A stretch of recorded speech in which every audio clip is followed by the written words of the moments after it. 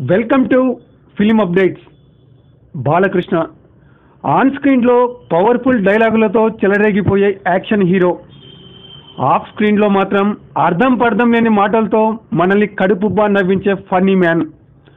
తెలుగు రాష్ట్రాల్లో బాలకృష్ణ అంటే తేలేని వారుండరు. ఒక్క కేఏ పాల్ తప్ప. ఒక కనుతో సినిమాని మరో కనుతో రాజకీయాన్ని చూస్తూ రెండు పడవల ప్రయాణాన్ని ఒకే టైంలో ఎంజాయ్ చేస్తున్నాడు బాలయ్య బాబు.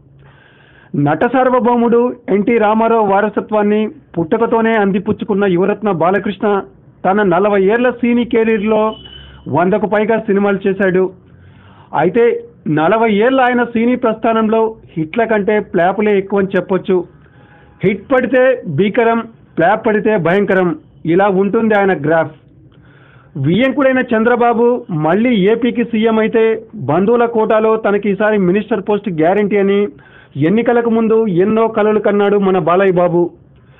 ఎన్నికల ఫలితాల అనంతరం చంద్రబాబే మాజీ కావడంతో బాలకృష్ణ కళలు పగటి కళలుగానే మిగిలిపోయాయని చెప్పొచ్చు. దీంతో తన రెండు కళ్ళని సినిమాల మీదే ఫోకస్ పెట్టిన బాలయ్య బాబు ఈ మధ్య సినిమాల మీద సినిమాలకి సంతకాలు చేస్తూ బిజీ బాలయ్యగా మారిపోయాడు.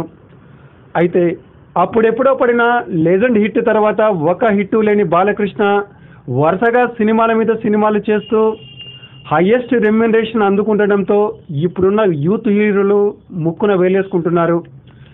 వాస్తవానికి బాలకృష్ణ వేగంగా సినిమాలు చేస్తూ ఉంటాడు. సెంచరీ సినిమా తర్వాత కూడా ఆయన యువ హీరోలతో పోటీ పడుతున్నాడు. సాధ్యమైనంత త్వరగా ఏ ప్రాజెక్టునైనా పట్టాలెక్కించాలన్న విషయంలో బాలయ్య ఎప్పుడు క్లారిటీగాడే ఉంటాడనడంలో సందేహం లేదు. ఇప్పటి వరకు బాలయ్య పారితోషికంపై ఎలాంటి ముచ్చట్లు లేకున్నా తాజా ప్రాజెక్టు విషయంలో మాత్రం బాగా పెంచేశాడు అన్న ముచ్చట వినిపిస్తోంది. దర్శకుడు కెఎస్ రవికుమార్తో సి కళ్యాణ్ నిర్మిస్తున్న ఈ ప్రాజెక్టుకి రూలర్ అనే పేరు పెట్టారు. ఈ సినిమాలో బాలయ్య ఓ వైవిధ్యమైన హీరోయిజాన్ని చూపించబోతున్నాడట. ఈ సినిమాకి పది కోట్ల పారితోషికం అందుకున్నారనేది ఫిలిం నగర్లో వినిపిస్తున్నమాట.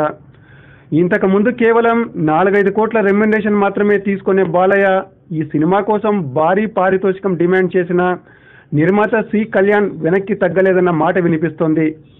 సంక్రాంతికి ఈ సినిమాను విడుదల చేసే అవకాశం ఉందని ఫిలిం నగర్ టాక్